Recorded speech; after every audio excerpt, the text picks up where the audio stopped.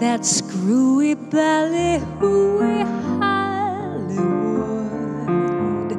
where any office boy or young mechanic can be a panic with just a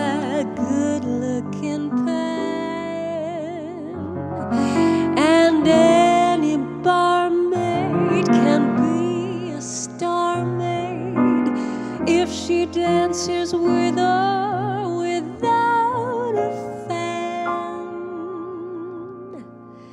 Hooray for Hollywood, where you're terrific if you're even good. And anyone at all from